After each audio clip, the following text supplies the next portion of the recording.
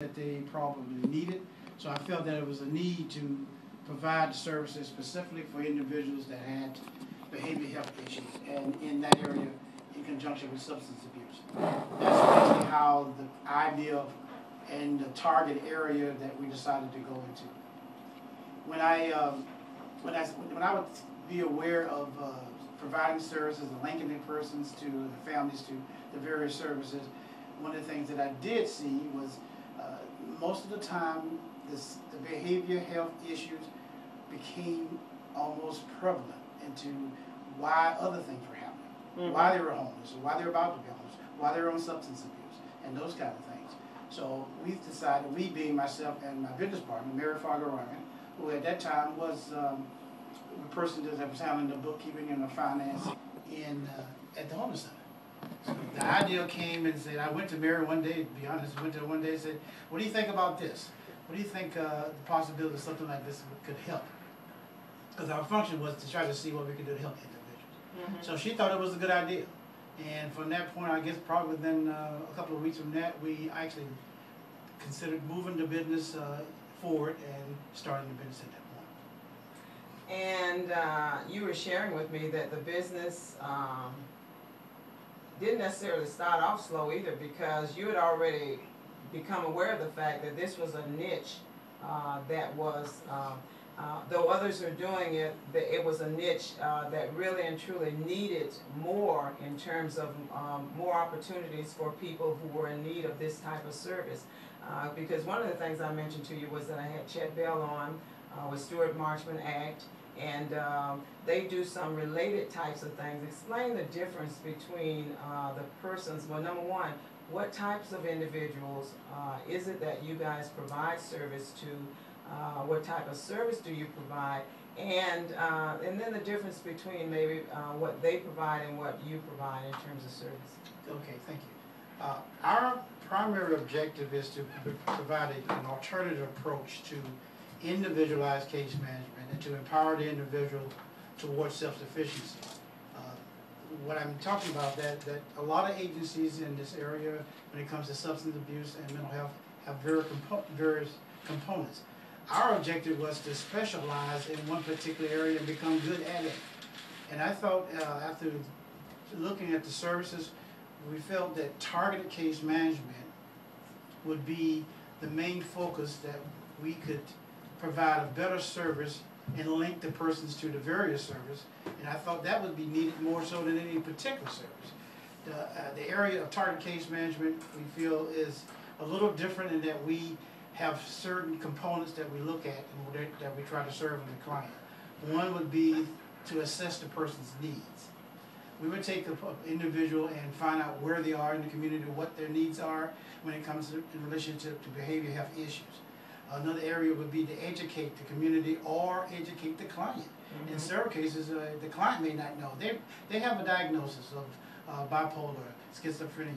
Well, a lot of times those areas that are diagnosed become labels. Mm-hmm. And our objective was Yes. not to take away, to take away that label and let it remain in itself and deal with the diagnosis. Mm-hmm. The other part of that was that everyone was an individual. I, I could see when, the- once that person had that diagnosis, and then that diagnosis become a label, Mm-hmm. now you just grouping everybody with the same things, and everybody you assume would have the same issues, and you had the same results if you provided the same structure and provided services. Unfortunately, people are not like that. Everybody is an individual. Right. And that's where we came up. A lot of times you hear a cliche about every person wants to be have an individualized program. That's not a cliche for us. That's actually how we operate.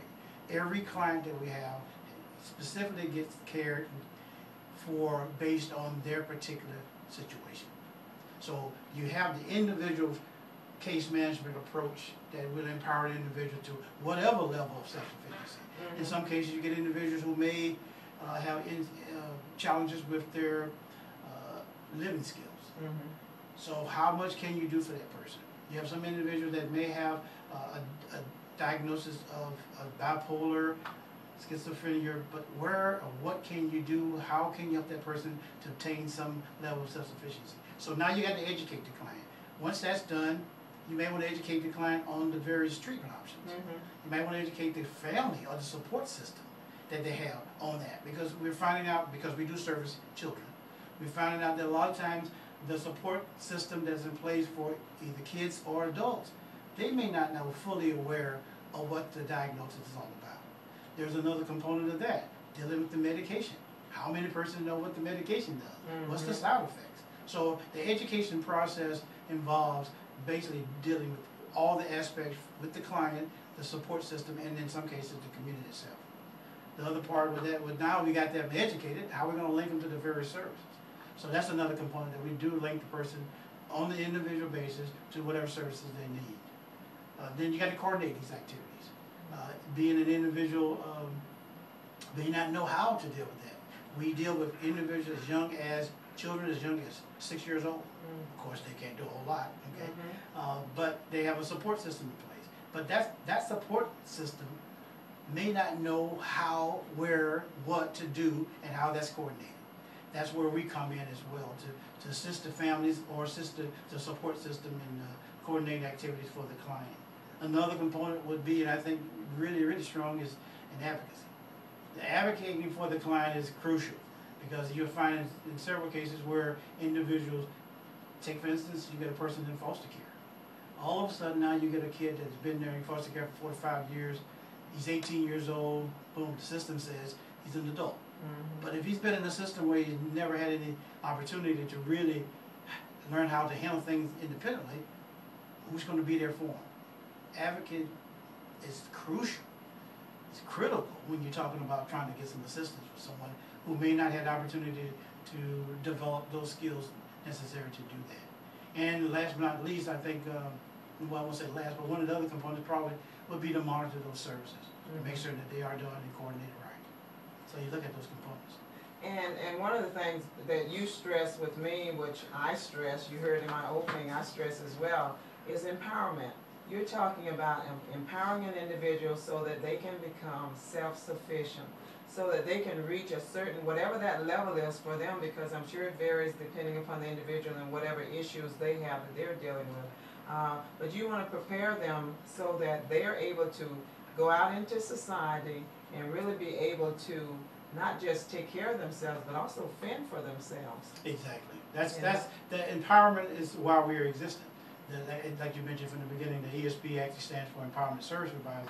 And I had to let the person know that as a disclaimer, it's not ESP being extrasensory perception. You know, we can't figure things out that we don't know Mhm. pretty much. But our goal is to actually get that individual to whatever level that suffi- self-sufficiency may be. If an individual, say for instance, has a challenge where just, uh, living skills, that may be something that may seem small to some, most individuals, but if you have a behavioral health issue, that could really hamper you as far as what you could possibly do and whatever level of self-sufficiency you can obtain. Mm-hmm. So you want to empower the person. You don't just want to do everything for them. You want to engage the person, but you don't want to enable the person. Mm-hmm. So that those are things that we look at when we, when we're trying to provide the service uh, total for the for the client. And what is so good about this, and I know, um, you know, you, I'm sure you've heard this because you've been a part of the social service system as, as have I, uh, where people always say that the, uh, social service programs really just want to maintain their existence, and the way you do that is that you make people dependent on you, on your agency, on what, what it is that you do, as opposed to, uh, getting that person to a point where they can actually depend more on themselves uh, where they don't have to have someone constantly taking them by the hand and taking them here, taking them there, telling them what to think, telling them what to eat, telling them what to this, that, and the other.